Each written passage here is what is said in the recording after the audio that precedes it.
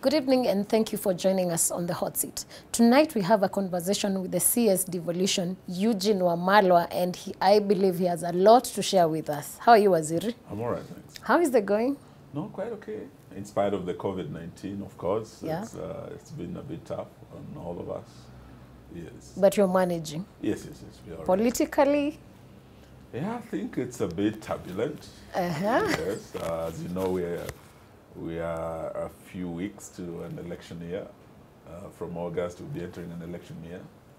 So we, we expect uh, turbulence. Okay. Yes. And from your ministry, Yes. how is it? No, no, we're okay. We're managing well. Yes. How are counties? I know this is the week we're having budget reading. Yes. Um, how are counties expecting or your ministry? Yes. No, counties are doing well. Um, of course, they have a heavy burden with this uh, COVID-19 uh, crisis, health being a devolved uh, function. So a lot is uh, on their shoulders. Uh, but we are happy. Uh, from March last year up to now, we've made a lot of progress. Uh, almost all the counties now have uh, met the threshold of 300 beds. Uh, they are supposed to create isolation centers. They've, they've done well. Okay. So it's a crisis, but it's also been an opportunity to improve uh, the uh, equipping of our hospitals and uh, health services generally in the country have improved.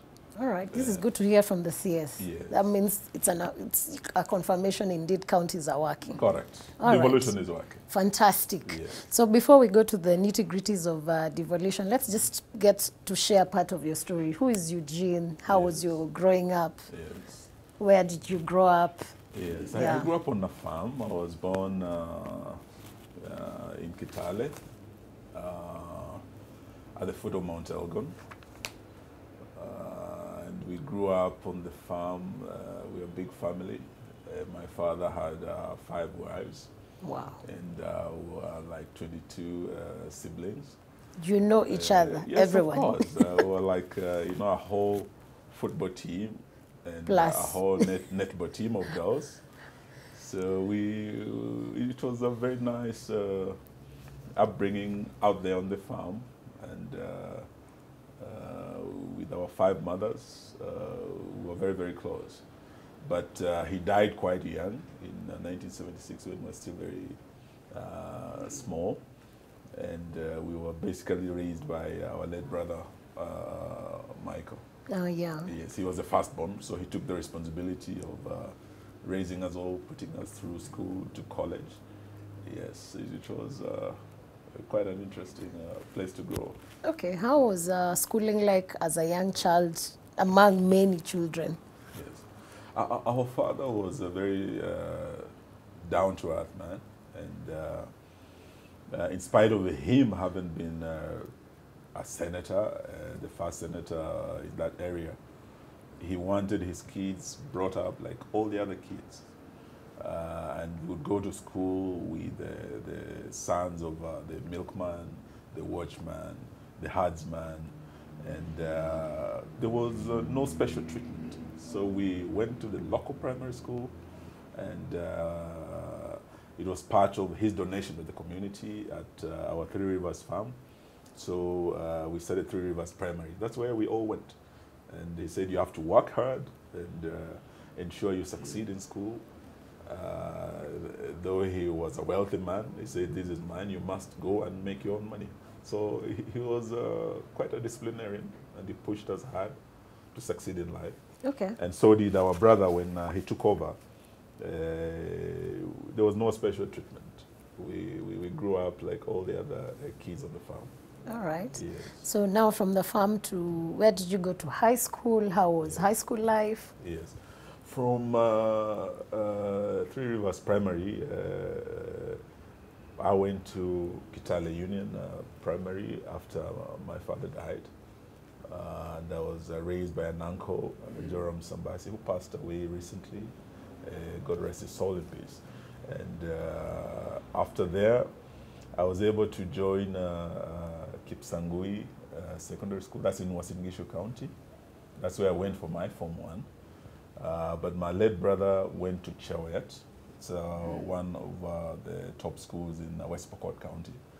And uh, he really insisted that uh, he wanted us uh, all to go through that school. So most of my brothers and I went through Chewoyet. So from his experience, Yes, he had to liked pass it on. So uh, he took me there, and that is where I did my uh, fourth form. And uh, from there, I went to uh, High School in uh, South Nyanza, that's in Kendu Bay, and uh, I managed to uh, emerge as a top student uh, that year, and I joined the University of Nairobi as uh, a law student. The university. The university. and, they have to. Everyone who goes there has to. I like the- the emphasis because I had my sister Eunice in KU, Had my brother city in Egerton, but I used to tell them uh, that is Kenyatta University, And Egerton Egerton, University, but, but- this is the University Wow. of Nairobi. Why is it that everyone who went to UON always has to insist? I mean, the rest of us. Because really, it, it, it, it is uh, uh, one of the best universities. We used to boast uh, uh, uh, north of the Limpopo and south of the Sahara. It, it still remains uh, the, One of the the top best. universities Yes. in Africa as we speak, uh, competing with uh, a few universities in the south and in Cairo, but uh, in East Africa and in Africa generally, the University of Nairobi still remains uh, the top uh, university in Africa. So I'm, I'm Proud. proud of it, and uh, I, I went back after I graduated uh, with uh, my LLB. I went back for my master's. So before you went back there, um, because now you joined politics way later in life. When you're in campus, was it a thing you were involved in, or were you just uh, watching? politics? Yeah. No, no, no. I was. Uh, I had a passion for the law, and uh, after I completed my uh, first degree, I uh, went to practice. Uh, I started off with uh, James Orengo. Uh, he's really the one who tutored me. Senior counsel. yes, senior counsel uh, and now senator for Siaya County, and he was my brother's best friend. Oh. After that, I went to uh, Nancy Baraza's chambers, and she was really like my uh, uh, professional mother. She's the one who raised me professionally, and there were about six sisters. Uh, we had Nancy Baraza, we had uh, Lucy Kambuni, we had uh, Gidai, we had uh, the uh, CJ now, Martha Koome, uh, and uh, Martha Karua. They, they were like six Oh. sisters, uh, and were very, very close. Uh, and there was one, Betty Rashid, uh, who passed away. So really, they were like my professional mothers as I joined uh, practice. Uh, we're very close with them and Nancy. So you learned from the best. The best, and uh, I've had the privilege of knowing the best of uh, legal brains in this country, and uh, I thank God for that. How would you describe working under these six um, power women, so to say? I I think it was a humbling experience because these are uh, highly professional women, uh, women of substance, and uh, outstanding in their contributions to uh, our jurisprudence as well as our uh, legislation. Uh, like Martha in Parliament uh, was a real top performer. Uh, then after that, uh, she, as Minister for Justice and Constitutional Affairs, she was one of the best. And I was very happy uh, to follow in her footsteps to join the Ministry of uh, Justice and Constitutional Affairs. Then later on, she moved to water, and coincidentally again, You I followed. followed her to water. So I was, I, I met her once, and she was joking uh, about how I've been uh, uh, like her son following her footsteps. But Ah. professionally, um, I was blessed to have had uh, my six uh, professional mothers, all outstanding women. I'm very, very Yeah. proud uh, to have known them. So, and from this, uh, working with these outstanding women, what are the best life lessons that you took from them? I think it's about uh, hard work. Uh, from where they came from, I, I knew them when they didn't have much, uh, when they were driving very ordinary cars, struggling, uh, and uh, they've worked hard to make a mark in the profession as well as in the country. Uh, just looking at uh, uh, uh, Justice Martha Koome being sworn in as CJ the other day was really an amazing day to celebrate uh, the girl child in this country and to have uh, uh, an, an all girls team leading uh, a critical arm of government, from uh, Martha Koome to, uh, to Mwilu, uh, her deputy, down to the uh, registrar, uh, Amadi, all top professionals and uh, leading uh, uh, an arm of government. I'm, I'm very, very proud. Nancy, having been the first uh, DCJ, uh, she, she broke the glass ceiling. Yeah. Then, uh, of course, Rawal came in. Then uh, uh, Mwilu is in now. Uh, and uh, with uh, Martha Koome on top, we're, we're, we're very proud. Oh, and I'm very proud to have known them in their days when they were still young and hardworking. And there's no shortcut to success. This is what I want to tell all the young girls and uh, all the young Kenyans coming up. There's no substitution for hard work. All these top people worked hard to get to where they did. You inclusive, of course. Yes, I mean, you're the uh, CS. We I- can't I- leave that I, out. I, I, I think I'm, uh, I'm proud to have come from a stock of hard workers Ah, and uh, men and women of integrity who have given their all uh, to this country. Ah, amazing. So, from a very high flying uh, career in law, Yes. then uh, sadly your brother passes on and you end up in politics. Was it a thing you always wanted to do, or were you forced, or was it a thing you thought because my brother was out there, then why not? Because Michael set up a very good uh, precedence in politics. Yes. In, in, in politics, I would say we were very well represented as a family. And uh, Mike was one of the best politicians I've ever met and a statesman. Uh, we had really uh, dreamed of him being uh, president of Kenya. I think But uh, he we was just all a did. heartbeat, it was just a heartbeat away when we lost him. Yeah. It was so tragic. And uh, I was just a young lawyer, uh, fresh from uh, uh, winning a big case in Uganda where I was The representing uh, President Museveni with uh, Dr. John Khaminwa. So it was a shock to me when uh, uh, he went down and we lost him. And uh, I'd been out to London with him several months uh, as he was recuperating. Then uh, we came back with him uh, with his body. After that, things moved very fast, and elders came from my community and said, "We don't see anyone else fit to take your brother's mantle but you." And I left my very organized life as a lawyer, I was doing well, uh, then went into the turbulent uh, sea of politics. And my life has never been the same again. How was that transition? I mean, lawyers are Yes. these polished, uh, Yes. well, cool, calm, collected. Yes. Then, boom, to the ocean of politics where people don't say what they mean or say what they don't mean. Correct. Yeah. Correct. It, it- was like being uh, thrown, uh, you know, uh, at the deep end of the pool. Uh, I was totally unprepared. I was very naive politically, and uh, I thought my brother's friends were my friends. That was a big mistake. so going into that uh, by-election, I, I realized there were some of uh, uh, my brother's uh, very close allies who had maybe felt he had really dominated the uh, political space, both uh, in the Western region as a leader and nationally. And they wanted to, you know, Come down. uh, you know, uh, have their time. So I, I thought they would, their support would be automatic, but it turned out not to be. Uh, I was uh, uh, run out of town uh, during that by-election. I lost. Uh, then I learned my lessons. How was the feeling? I mean, you've come from a very high profile uh, Yeah. career as a law. Yes. Then you go to politics where you imagine because your brother was a top leader and Mm. guys loved him, then they will do the same to you, but you lose. How was that for you? Like at that moment, did you think of going back to law? Yes, uh, I I mean, once a lawyer, always a lawyer. I, I still uh, continued in my practice, but it was a humbling lesson. And I've heard of people talk about dynasties and uh, trying to refer to me as one of them. Uh, yet, it, yet if I was, uh, I should just have automatically inherited my brother's seat, but I did not. The people said you must be your own man, and uh, we'll vote for you uh, based on your own record. So I had to, it was a humbling experience. I had to go back to the people, go back to the villages, work with the communities, the women, the border border, the youth, the churches.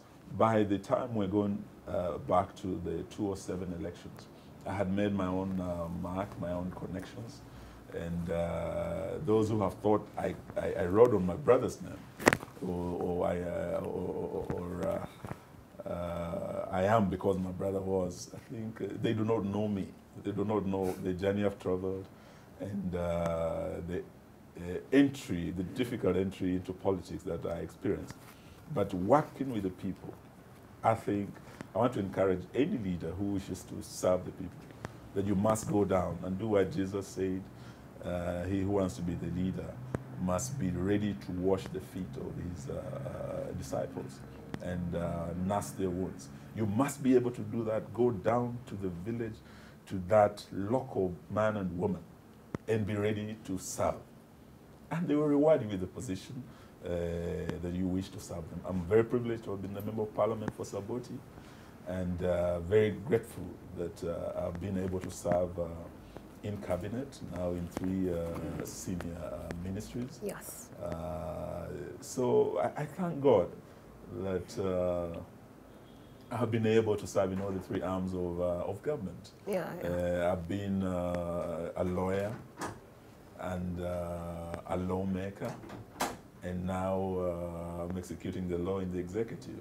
I'm, I'm very, very uh, privileged to have Which had. not many people manage to get that together. I think it's a in rare opportunity. lifetime. I'm privileged. I'm uh, very grateful to God uh, at my age to have been able to get the opportunity to serve Kenyans in different capacities uh, and in the in all the three arms of government. I'm, Yeah. I'm very very grateful uh, to God and uh, also grateful to uh, President Kibaki uh, who gave me the opportunity to serve in his administration at a critical stage uh, in the history of our country.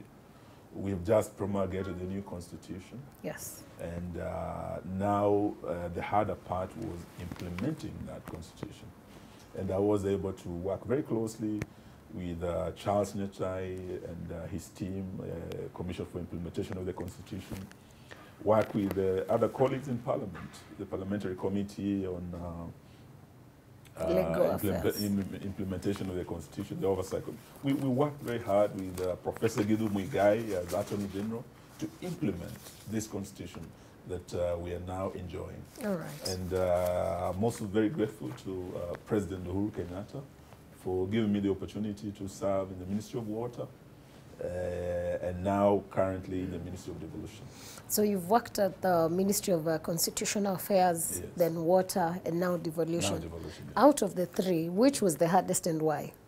I think the hardest was uh, uh, the Ministry of uh, Justice because we were at a very uh, critical stage of our journey, having just gotten a new constitution, and uh, we're now preparing uh, to have the first election under the new constitution. That's in 2013 now. Yes, it was, uh, it, it was uh, a very uh, uh, tricky time. It was a very tricky time. What was the Many what would you might say was the hardest? Uh, the amount of work that went into uh, the preparation for that election, because the IEBC was uh, was uh, uh, under my ministry, and uh, we had to work very closely uh, with. Uh, uh, I think then, uh, before Chebukati, we had uh, Isaac Hassan. Isaac Hassan, uh, who was my classmate at uh, the university. I was very privileged to work with him and his team, to work with President Kibaki and uh, Prime Minister Raila Odinga to ensure that election was held. A lot of work went into it in uh, preparing the IEBC and also preparing the country for a peaceful election. It was not easy. Yes. All right. Ministry of Water, how would you rate your performance? The Ministry of Water, I'm very proud of uh, uh, uh, my record. We were able to do quite a lot, and I'm very happy that uh, even as uh, I serve in devolution, uh, the president has also given me the docket of uh, uh, the State Department of ASAL. So I'm still working with the same counties that uh, had uh, serious uh, water problems, water challenges, uh, especially in the face of climate change. Uh, again, the hardest hit counties uh, are, are the ASAL counties. When you're talking of drought, these are the hardest hit counties. When you're talking of floods, again, locust invasion, the ASAL counties are the hardest hit. So I'm happy that having been the Ministry of Water, we have continuity in terms of uh, working with these counties to build dams, to uh, build resilience of uh, these counties. And uh, most of the projects that we started, I am happy, uh, are going on very well. We started Thwake Dam in Ukambani, cutting across Kitui and uh, Makueni all the way to Konza. Uh, that project is ongoing. It's a game changer. It's the largest dam that we're building in Kenya today. And we thank the uh, African uh, Development Bank for the support. Once we are done with Thwake Dam, and it's, I'm told it's almost uh, 40 to 50% done, we'll be able to turn Ukambani into a new breadbasket of Kenya. We'll have over 100,000 acres under irrigation. And uh, instead of taking relief food to Ukambani, or what they used to call molio, we will be getting food from Ukambani to the other counties. I'm very proud of that. In uh, Kirinyaga, we started a Thiba Dam. It's going to be a game changer in terms of uh, boosting our food security. We are going to more than double rice production in this country just by uh, allowing uh, uh, more irrigation by gravity in Mwea. We are very happy that in Bunyala, uh, we also have uh, uh, the Lower Nzoia project that uh, we started while I was uh, at the ministry. This is going to tame the floods of River Nzoia. So the perennial floods that you hear about in uh, Budalangi, once the permanent dikes are built and we double the rice production in Bunyala, we will be able to uh, transform that region. Lastly, in Kisumu County, the perennial Nyando floods, we had uh, uh, uh, started uh, getting Soin Dam uh, built, and I'm very happy that as we speak, my sister Sicily Kariuki is in the process of getting that dam constructed. You will never hear of floods in Nyando again once we tame the river, the waters of the River Nyando, because as it rains in uh, Kericho, all this water comes down to the lake. But once we have that dam, we'll be able to hold the water. We'll be able to have uh, hydropower. We'll be able to irrigate and actually double rice production in uh, Kano, West Kano, uh, uh, Ahero uh, areas. Right. So I'm, I'm very happy that uh, these successes, uh, uh, when eventually uh, impacts on our country, Your name will uh, be. my name will be associated with it. I'm very proud to have had an opportunity to make a contribution. And it was not all successful. Uh, one thing that uh, didn't succeed very well was uh, the Galana uh, irrigation project. Yes, because I was going to come to that. I mean, we had a promising um, launch, Yes. and we actually saw the 10,000 acres with uh, maize, but then again, uh, recently the, the the company that was working, Yes. they left. What's up with Galana? I think Galana, it was uh, the implementation. Uh, when I'm, I, I moved into the ministry, already uh, the uh, the project was uh, stumbling, and we had to do quite a bit. In legal parlance, we would say putting Humpty Dumpty back on the wall, trying to restore the project. And I must thank uh, uh, the Agriculture Committee of Parliament.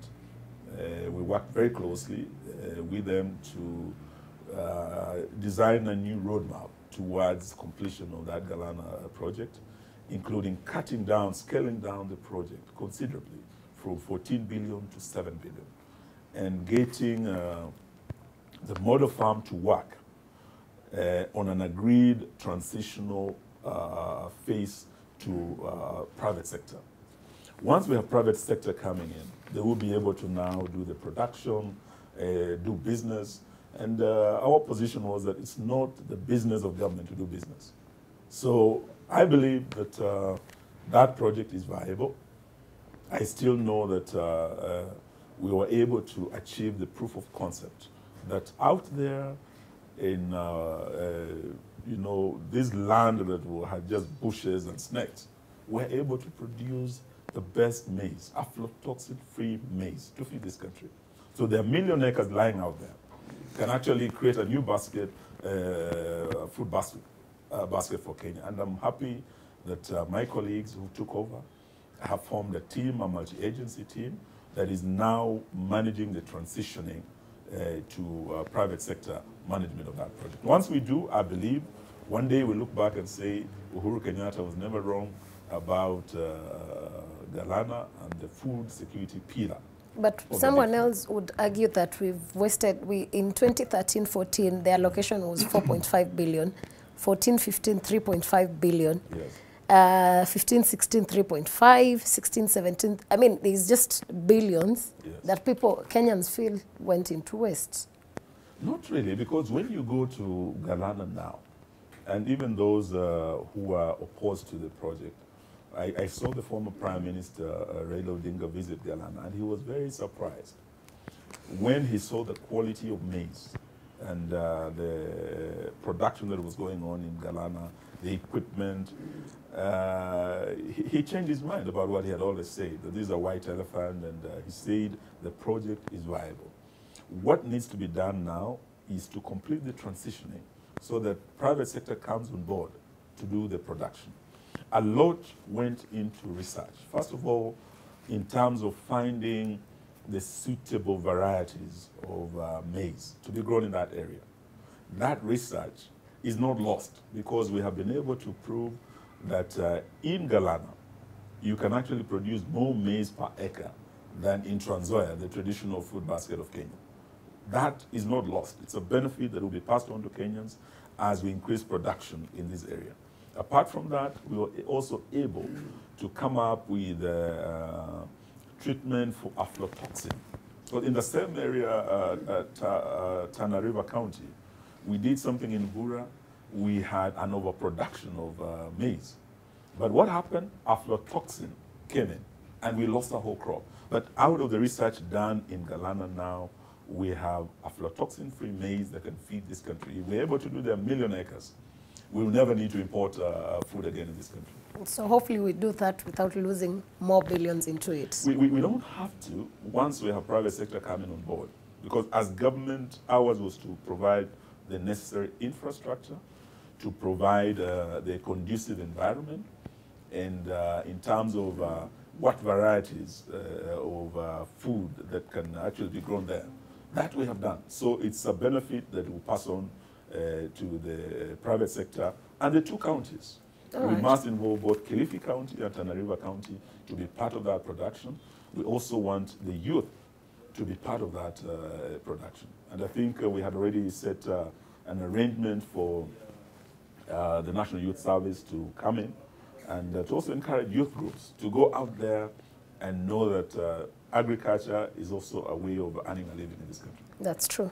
Something else you had promised in an earlier interview way back, I think in 2016, was uh, to have dams in uh, Mandera, Turkana, and have enough water Yes. by 2020. Yes. But we're in 2021, and I don't think we have a dam in Mandera as per my research. Actually, what we've done, we've done three dams so far. There's a dam in uh, West Pokot, in a place called Kasses. We have a dam in Turkana, uh, in a place called uh, Urum.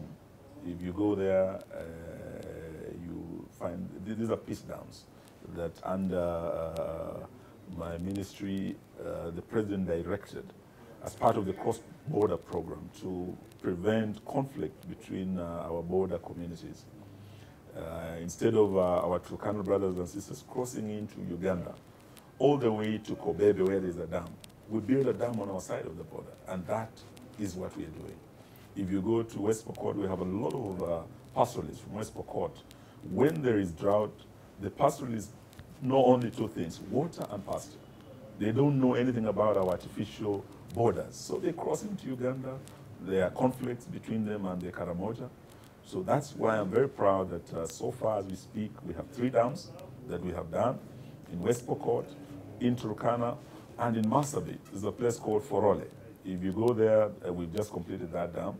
And uh, I want to thank our uh, sister Ministry of Water for, the, for implementing this project. And very soon, we will be uh, inviting His Excellency the President uh, of Kenya, uh, Uhuru Kenyatta, and President Museveni of Uganda as we mark the Peace Accord of Moroto in September. We want them to come and launch these dams so that we have our pastoralists uh, getting water and avoiding conflict between them and the neighboring community. So So September, they'll from have the three, water. Yes, apart from the three, I've uh, mentioned uh, the other dams that are Yes, uh, yes. ongoing. Dams like uh, Itare in Nakuru that uh, also faltered. Uh, so it- it's not that uh, it's, it was uh, all success. There are areas where we didn't do so well, and uh, that we acknowledge. Uh, we could have done better in Galana. Uh, Itare Dam, that contractor let us down. Uh, they, went, they, they became insolvent. So a very good project that would have brought water to almost a million residents of Nakuru stopped. But it's a viable project, and uh, I think a way will be found on how it can be completed so that we are able to serve that population of, of Nakuru. Nakuru is depending on Nyandarua. Uh, so water uh, coming down uh, from Nyandarua uh, is what is going to help Nakuru. But with the Itare, Nakuru itself will get water, and also uh, the neighboring county of Kericho. All right. Yes. So I hopefully we'll get there soon. we, we will. I know it's uh, we've had challenges with our dams, and uh, I think the government is addressing the issues. All right. Yes. So um, something else uh, before we come now to devolution, what's our percentage of water availability for the country at this point? Our target was once we complete these uh, dams, we should be able to shoot from 60 to 80 percent. Yes. As uh, have said, most of the dams are ongoing, almost 50 percent. I believe uh, in another two years, if we are able to complete the dams that we have started, you'll see uh, the coverage increase. Our target was uh, 80 percent. That was by Then, uh, 2020. by 2030, uh, we wanted to have achieved uh, uh, the 100% mark. Do you think we still uh, manage? Now we're in 2021, we still have Yes. nine years. I believe if we uh, maintain our priorities and we have honest Kenyans of integrity And beat corruption. to work hard to deliver and not to enrich themselves, we will be able. We, we can still achieve uh, universal coverage. In nine years' time. by 2030. In nine years, we can do a lot. Just look at devolution. This is the ninth year of devolution. Uh, by next year, we'll be looking back and saying, we never imagined this could be done in nine years. So in nine years, with proper, with good leadership and patriotic Kenyans who are dedicated to serving the Kenyans and not enriching themselves, we can achieve our goals uh, in nine years. All right. Yes. Back to devolution. Mm. What do you feel are your achievements in the two, three years that you've served in that uh, ministry? First of all, I would say we have improved intergovernmental relations. Th- th- This is really the uh, soul of devolution. Under Article 6 of our Constitution, the two levels of government are supposed to work together in uh, consultation, in cooperation, and uh, in collaboration. When devolution started, I think uh, the first three or four years, we had challenges because uh, it was an adversarial kind of relationship between the national and the county governments. It was more confrontational instead of uh, uh, cooperation. So what we want to uh, look back and say is that the last three years, starting with Chairman uh, Nanok, Governor for Turkana, who was the chair when I came in, uh, all the way to uh, Governor Oparanya, and now Governor Wambora, we have the best intergovernmental relations ever. This has uh, borne fruits for Kenyans in terms of improved services, uh, improved response, even when it comes to this COVID 19 crisis. Because of those improved relations, we were able to have almost four summit sessions. The summit is the apex uh, uh, organ of leadership uh, of the two levels of government coming together. So we're able to put our heads together to say that uh, we, the, the, the, there are no people belonging to the national government or those belonging to the county governments. We are serving the same 47 million Kenyans in our 47 counties. So we must work together. And that we have been able to achieve, and I'm very, very proud of that. I think the other issue we can also say we uh, have made progress in is getting the counties to work with each other Yeah. uh, within uh, uh, the regional economic blocks. Uh, this has seen uh, counties uh, in the north, frontier counties, uh, 10 FCDC counties coming together, and what they've been able to achieve is a lot. they realize that they're stronger together than working separately. They are able to also uh, become more attractive to investors, even in terms of uh, uh, strengthening partnership with their development partners. It's easier, say, for the EU to engage a bloc like the FCDC, bring together 10 counties, than for them to go to each individual county. Yeah. And likewise, uh, uh, when you look at uh, the Lake Region Economic Bloc, bring together 14 counties, it, it, it becomes, uh, uh, you know, uh, an engine of growth that is going to spur our economic growth as a country. So I'm very proud of what we have achieved together with the counties in terms of working together and strengthening uh, evolution in our country. The last issue is um, the partnership in realization of the Big Four agenda. When the president declared uh, the Big Four agenda, uh, we were able to go to Kakamega and have the fifth devolution conference and enter into an agreement with the counties that these are the top priorities for our country today. Every Kenyan would like to put food on the table. Every Kenyan would like to get affordable uh, health care. When their children are unwell, they should be able to access health services affordably.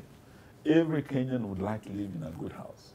And every Kenyan, of course, would like their children to uh, get a job, and manufacturing is the way to go. So we were able to enter into this partnership, and uh, in spite of these being devolved functions, we have a pact with the governors that we must work together to be able to deliver to Kenyans. All right. That, that, that could be one of the biggest uh, achievements of, uh, of this administration because devolution is really uh, going to be the, uh, when you're talking about uh, uh, the Uhuru Kenyatta legacy, I believe it lies in devolution and what we've been able to achieve in all of our seven counties. All right.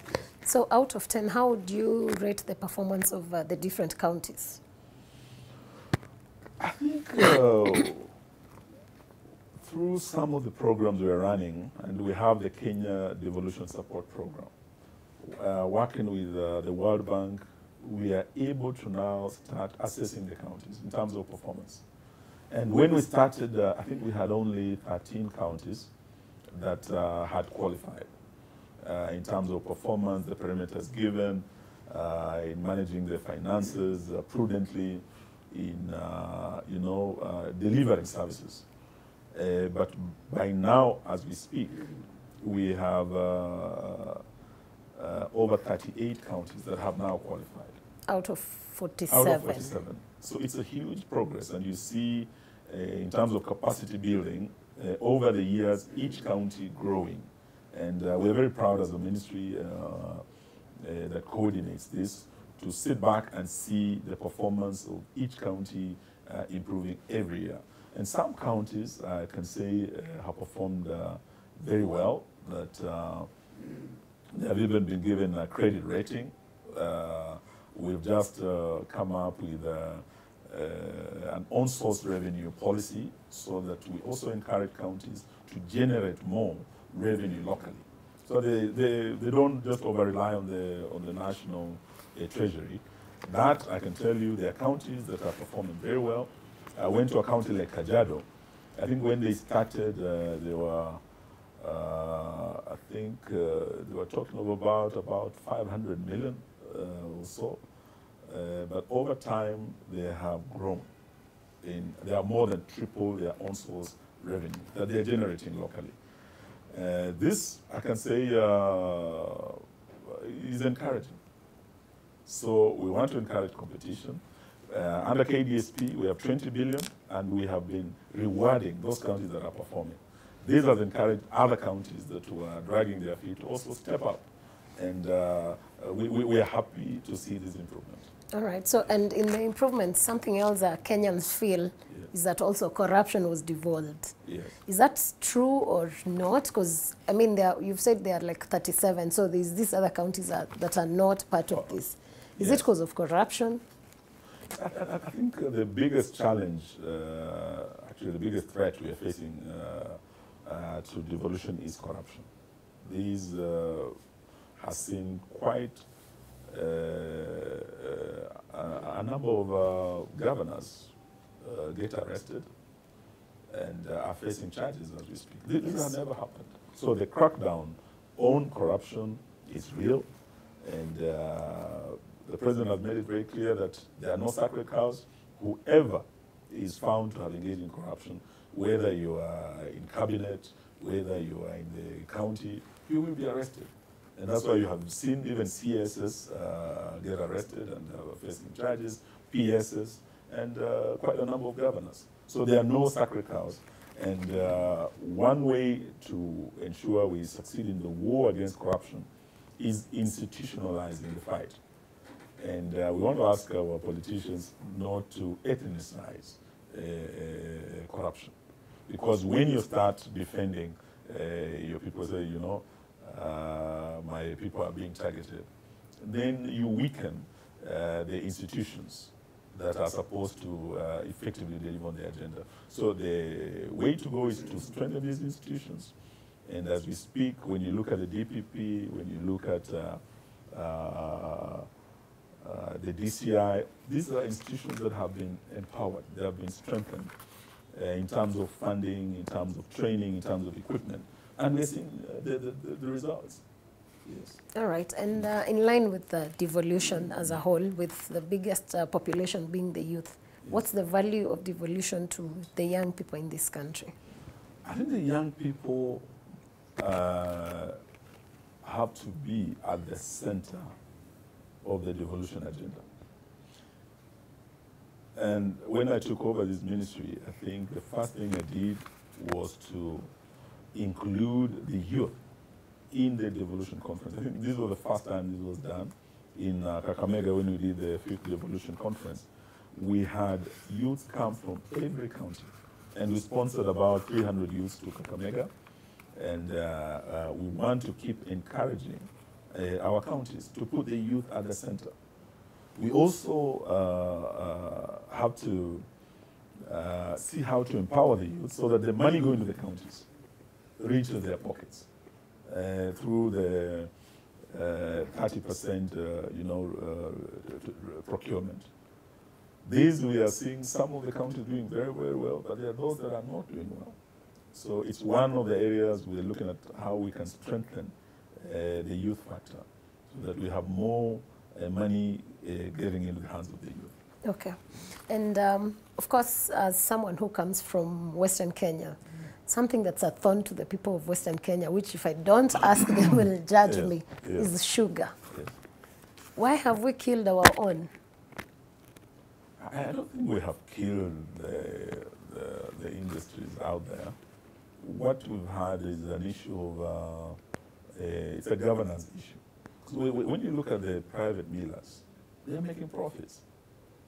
West Kenya, they're making profits. Butali, they're making profits. Why is it that Nzoia and Mumias are not? Miwani, Muhoroni, Sony are not?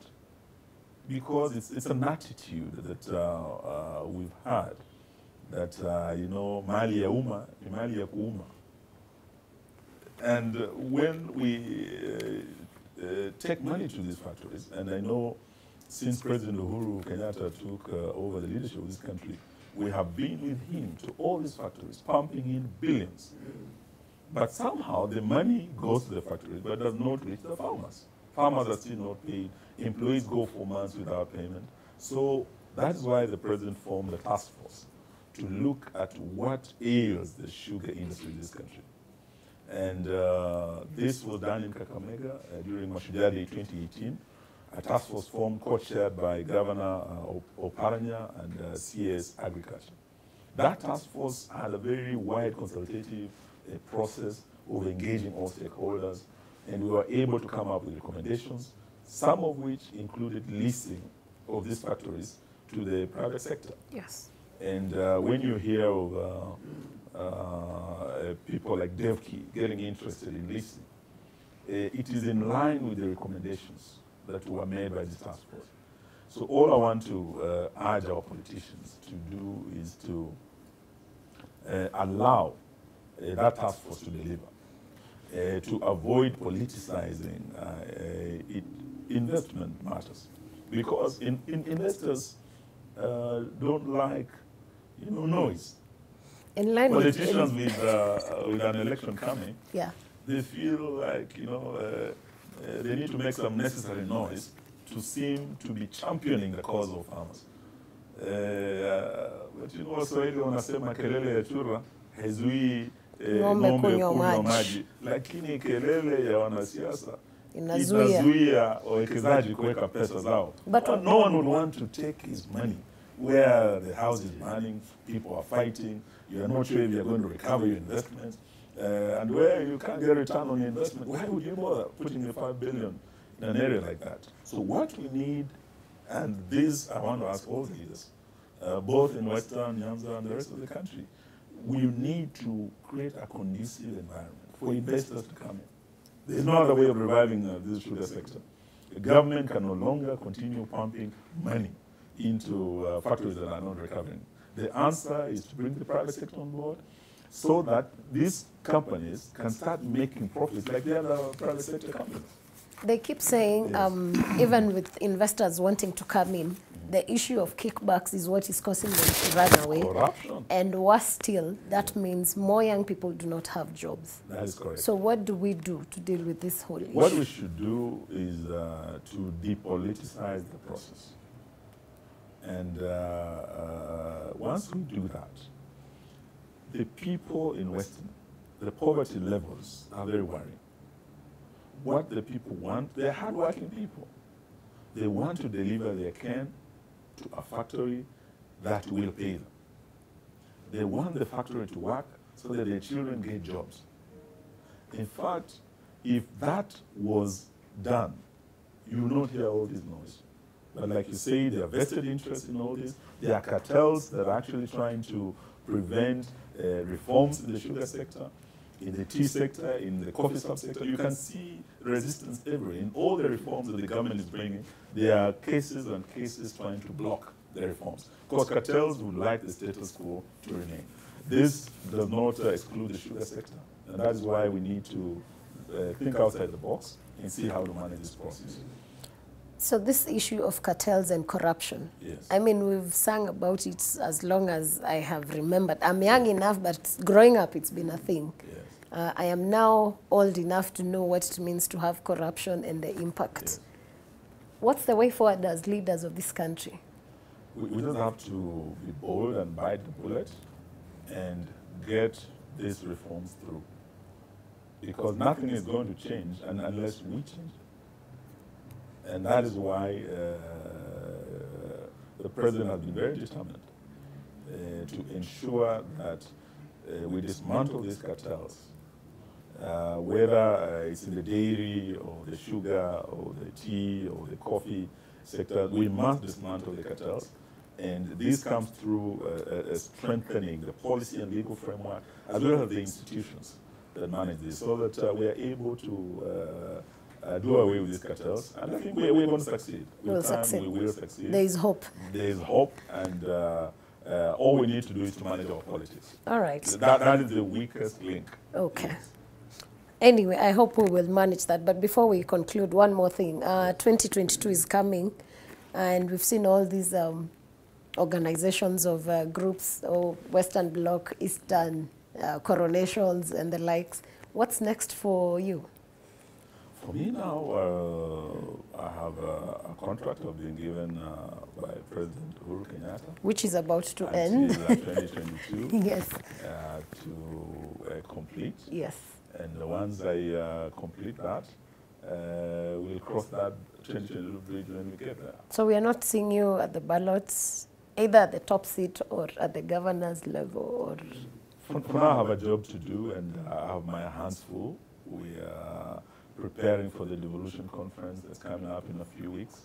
We are preparing for AfriCities. We are hosting the entire African continent in Kisumu.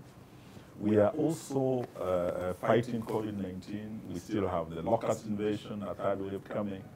Uh, we, we, we, my hands are full. Uh, I, I don't think I even have time to think about next year. Right. But when we get there, we'll cross the bridge when we get there. All right. Final message to our viewers as the CS for devolution.